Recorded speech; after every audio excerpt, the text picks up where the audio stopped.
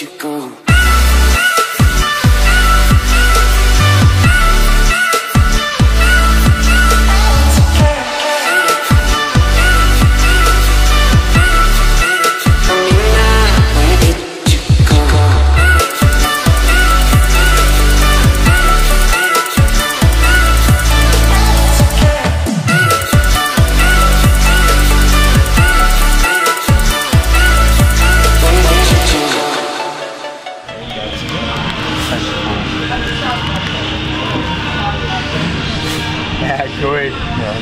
Man himself. Raising the bar as an inspiration for others.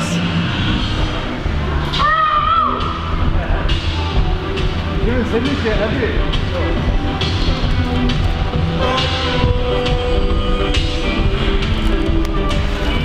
do you think of that, buddy?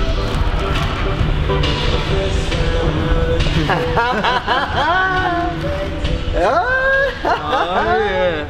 It's yours, mate.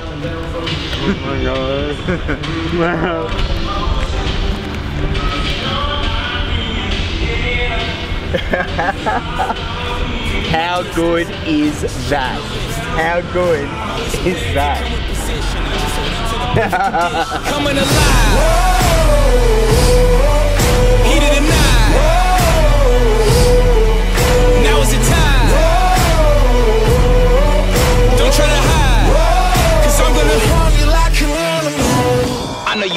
you thought it was over. I know you thought it was finished. I know you think I'm a cynic. But you know this shit only business. People act different as soon as you win it, man. I know this shit ain't no different. You pull up in cars, you act like it's yours, but we know that shit is just rented.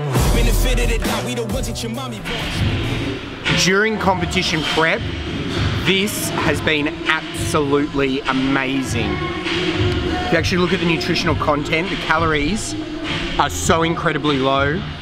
Uh, and also just the other thing as you get draw closer to competition, you need to be conscious of sodium intake because of water retention. The sodium, uh, the sodium content of this uh, sriracha is actually relatively low, comparable to uh, other sauces and condiments. So if you're looking for a dieting hack during comp prep, assuming you like hot chili sauce, get your hands on some sriracha. So this is uh, a, a pre-workout meal that I'm having. I've got um, a, a lean source of protein with my basa. So I've got the basa, I'm having some asparagus, I'm infatuated with mushrooms, uh, and I'm having about 125 grams of basmati rice here. So my lean source of protein is the basa, obviously helps to retain lean muscle mass, um, helps with recovery. Got the asparagus, can help to reg regulate water levels and it's my source of vegetables with the mushrooms. And then the basmati rice uh, serves as my uh, source of carbohydrates, my energy, the energy source that I need to get through my training session.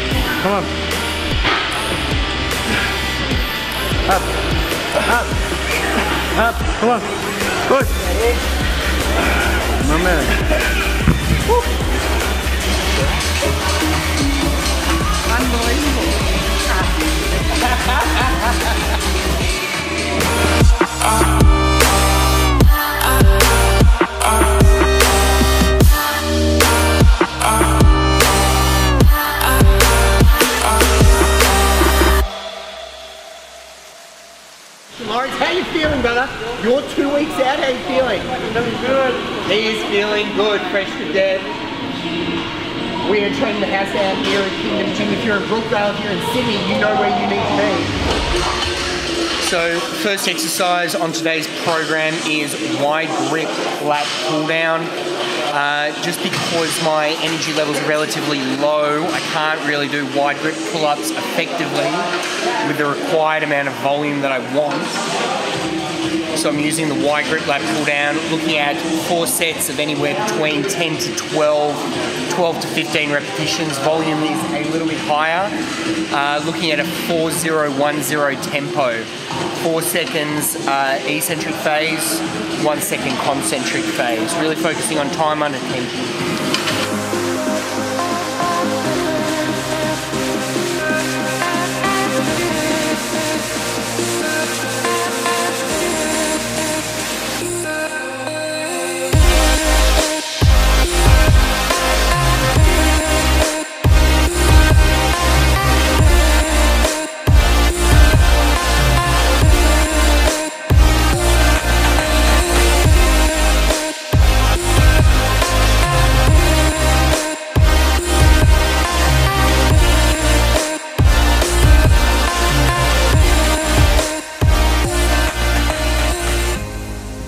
So as I go through these high volume training sessions, I'm more inclined to reach muscle failure, uh, which means that I'm going to be under fatigue and I may benefit from performing uh, forced reps or, or getting the assistance of a spotter to help me with the final few reps uh, just to take my muscles to uh, complete failure. Now, one of the important things is even if you're under fatigue and you're starting to reach muscular failure, you're still seeking to maintain the strict form and technique that you were executing at the start of your set. You don't want to fall into bad habits of using excessive amounts of momentum. So even if I'm starting to reach muscle failure towards the back end of a set and I'm getting a spot, I really endeavor to maintain that strict form and technique, maintain the same cues that I was executing at the start. Uh, and even if I do start to reach muscle failure, I'm not hauling the weight down with excessive amounts of momentum. Maintaining that strict form and allowing uh, the assistance of the spotter to help guide the weight down, uh, but not help me too much. Uh, it's very important to find that appropriate balance between getting enough assistance in order to uh, get the most out of the entire set, uh, but not allowing the spotter to do too much work. Uh, keep, keep those forced reps honest, if that makes sense.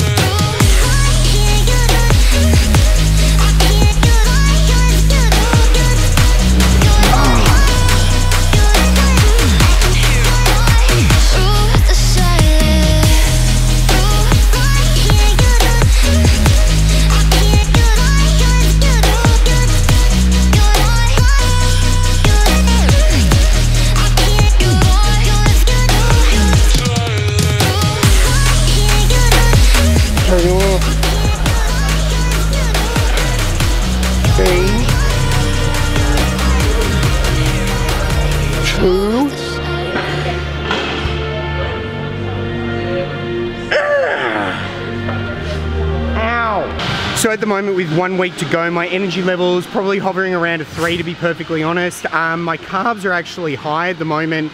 I'm doing a front load, so the majority of my carbohydrates are at the start of the week and then I'll taper off as I reach towards uh, show day. Uh, consequently, my training performance is at a three and I guess that's that's you know in line with my strength being a three. Um, it, you know when your energy is relatively high because you've got the carbohydrates, your performance in the gym is going to increase. Um, and I, I think I'm just excited about the prospect of stepping on stage. So overall, feeling pretty good at this particular point in time, and I've I've sort of gone through the stage of the prep that was probably going to be the hardest, and now it's just a case of relaxing um, and, and, composing myself before uh, flying up to the Gold Coast on Wednesday. Sleep probably isn't where I want it to be. It's probably at about a one to two out of five. Um, but that's going to change over the next week because as my training tapers off uh, and as I reduce my workload in the preparation to this competition, I'm just going to prioritize it. I'm just going to take more naps throughout the day um, and uh, prioritize just relaxing, recuperating, and keeping cortisol levels at an all time low. Uh, hunger levels at the moment, because carbohydrates are, are, a little bit higher, they're actually okay, and I think I've just adapted. So, hunger's probably sitting around a three out of five. I'm really not that um, hungry or, or, or, concerned with it. Food isn't a fixation at the moment because the end is in sight. Um, and I don't feel as though it's going to be this big burden uh, to overcome.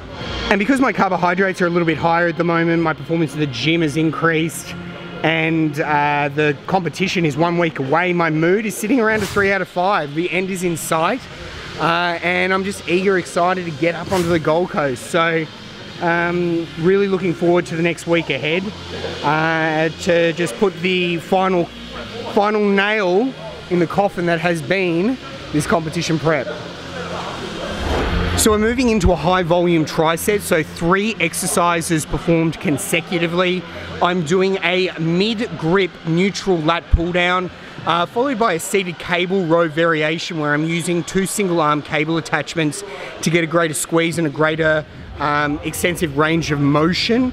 Uh, looking around 10 to 12 reps for the lat pull down, 12 to 15 repetitions for the seated cable row, and finishing off uh, with straight arm cable pull downs, looking around 15 to 20 reps. So, three exercises performed one after the other, uh, designed to increase uh, the metabolic stress, increase the blood flow, get the pump going, and effectively take my lats to failure.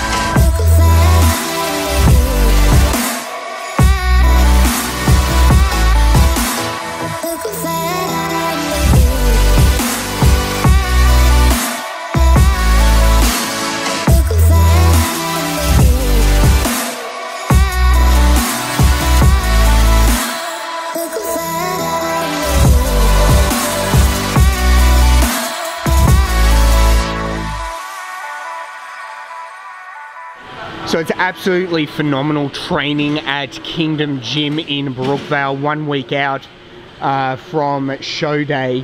Just the eclectic range of equipment at this facility, uh, it's it's absolutely mind-blowing. It's it's a lot of the equipment that you find in uh, the large-scale industrial-sized gyms in America, and it's very rare, especially in a place like Sydney, to find such an extensive range of just different hammer strength equipment.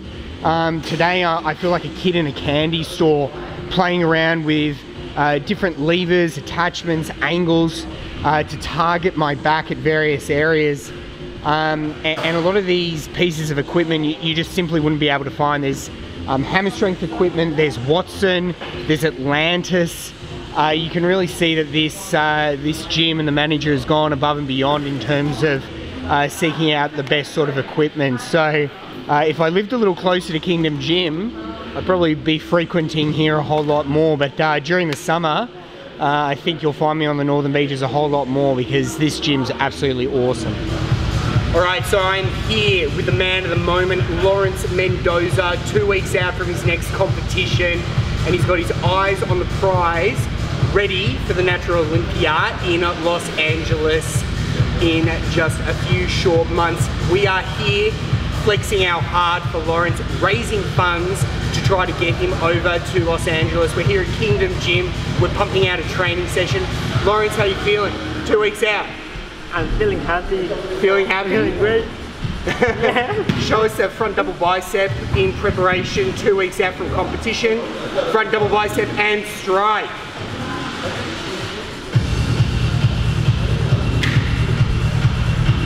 The only limits are the limits that you place on yourself. Live life on your terms, live life like Lawrence.